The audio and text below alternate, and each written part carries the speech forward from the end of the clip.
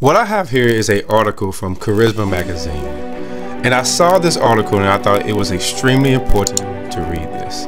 Uh, it's a prophecy, and the prophecy is saying that I'm calling you to set yourself apart. You see it here at the title. I'm calling you to set yourself apart. So as I scroll down, and this is what it reads. Now the, the author, you can see the author's name here. Okay. You see the author's name right here. God is speaking to his people in this hour. And this is what it says. It says, the very first thing you begin to see, and this is in the book of Thessalonians, the great falling away. The great falling away is underway. On high, on, on top of high profile Christian leaders falling into gross sin. We're seeing notable authors, songwriters, and other denying Christ as Savior. Now, all the while, pastors continue committing suicide. The Holy Spirit told me several weeks ago to be a forerunner in this season of consecration He is leading us into. I have set myself apart at another level. On my mornings with the Holy Spirit prayer broadcast, I prophetically announce the season of consecration and then I prophesize. There is much deception rising in this hour. And even some of my elect are being deceived by doctrines of devils doctors of demons, and spirits of suicide. Now I want to look this look at this right here. In this prophetic word, it said, my elect. So these people who are being affected, just like the Bible says, my elect are being deceived by doctrines of demons and spirits of suicide. This is from the word of God. There was not false converts. They were converts, but they are being deceived by doctrines of demons and spirits of suicide, and the lust of the flesh, the lust of the eyes, and the pride of life are taking some of my soldiers whom I love. In this season, I'm calling you to draw yourself away, to set yourself apart. I have set myself apart for my purposes. But you must set yourself apart for my purposes in order to step into everything I've planned for you since before the foundation of the world, or the foundation of the earth. And you can also find that in the book of Ephesians chapter 1 verse 4. For when you were in your mother's womb, this Jeremiah chapter 1 verse 5, you were consecrated unto me. And this me, when you see the capital, look at this right here. When you see the capital, this is a, a prophetic word. This capital is talking about God. And when you enter into this world, you enter into a new reality where your physical senses began to supersede your spiritual senses. But I want you, but I want to make you so sensitive to my spirit that when you open your eyes in the morning, you begin to see angels and you begin to see demon powers and you begin to see pictures of my glory.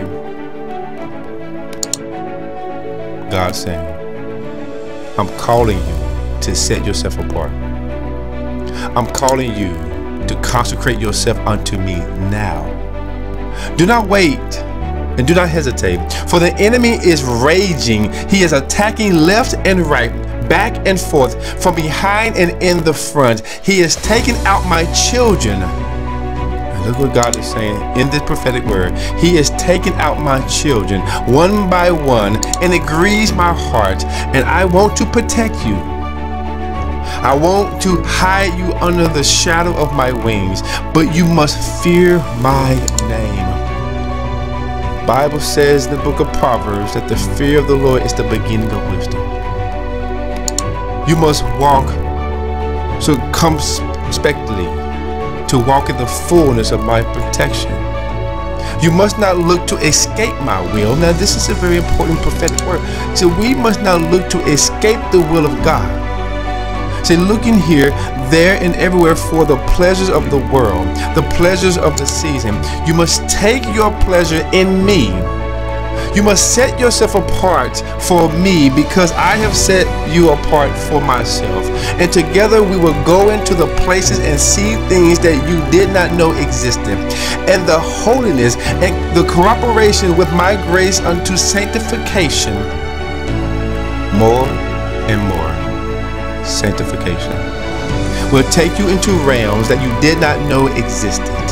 And the price you will pay will be worth it because you're not only working out your salvation with fear and trembling, but you're also in ensuring that you'll cross the finish line. For those who endure to the end shall be saved. Jesus said this in the book of Matthew. So pledge to your own heart that you would decide to live a consecrated lifestyle. It's just not saying what saying something you're a child and not living a life. A consecrated lifestyle.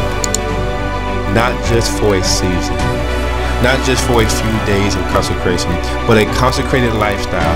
I am looking for some even to take a Nazarite vow, to go into the extreme for me, to set themselves apart to the extreme for me, and to make some sudden changes that may shock those around you, but they won't sh won't shock because I see you doing this. I see you succeeding in this. I see you. If you want me more, pursue holiness. For my word says, does it not? To pursue peace with men and holiness, without which no one can see the Lord. Pursue holiness, and I will make you holy even as I am holy. Set yourself apart. Consecrate yourself to me, for me, and I will give you the grace to do it. And yes, there will be resistance against this endeavor. Yes, there will be challenges. And yes, the enemy will come and ramp up the temptations against your heart. But my grace is sufficient for you. And pretty soon, the passing pleasures of this age will not be appealing to you no longer.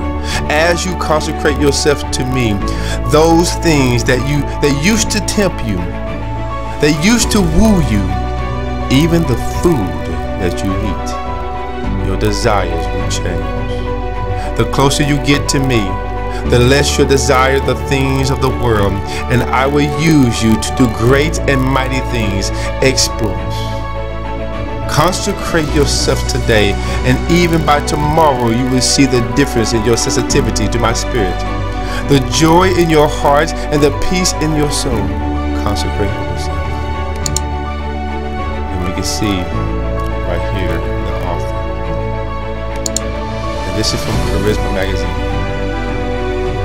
I just believe, brothers and sisters, this is a time that the Lord Jesus Christ is saying that we're looking at how Satan is ramping up the temptation and even the elected are being deceived. Even when you see brother rise against brother, not really understanding what's really going on, but you be seeing that, that pastors are committing suicide we're looking while people and songwriters are denying Christ, Jesus Christ, as being the Savior, denying Him. It's all what the Word of God says the great falling away. So He's saying, consecrate yourself to the Lord, be on guard, do His will. Live the lifestyle. Not just with words, but live the lifestyle. So I hope you enjoy this. If you have, go back, uh, Charisma Magazine and it's also be on my Facebook, so you can you can go back and read it. Hope you guys enjoy this reading. Have a blessed and wonderful day in Jesus' name.